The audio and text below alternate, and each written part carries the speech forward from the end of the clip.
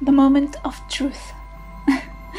I'm making a big deal out of this because I've been working on this uh, one comic slide for a few weeks now. So here I have all my characters and I'm supposed to uh, line them up on this um, staircase. Uh, for this one uh, image that is going to appear um, in my prologue, in the prologue of this upcoming webtoon. Uh, so I'm not going to lie to you, I'm going to use this image again in the first chapter, in the first episode, just because it took me so long to make it. Uh, so yeah, I'm going to use it again.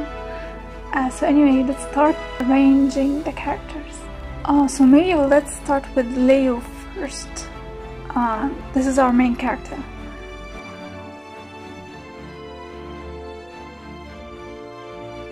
Virginia, or Virgo. You probably already guessed that from her name. And Claudia. Ursula. Leo's sister. Melissa. Melissa is our Scorpio. Lydia. She's the youngest and the shortest.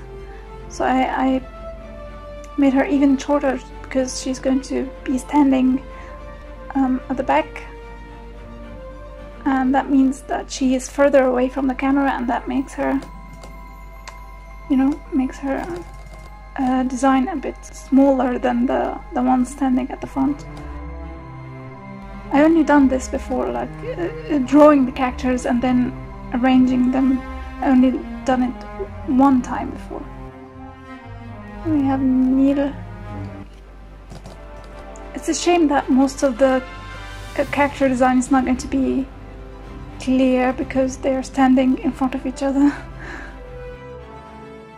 Patrick. He's supposed to be looking at somebody and that is is Terry. Everybody's sleepy, everybody is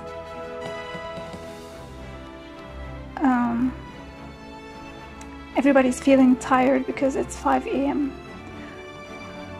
And then, oh yeah, yes, if it's okay, not bad. I like it. They they look like a Christmas tree with all the colors and everything. Okay, so here's our image. How is it? There's supposed to be 12, but then uh, there is one character missing.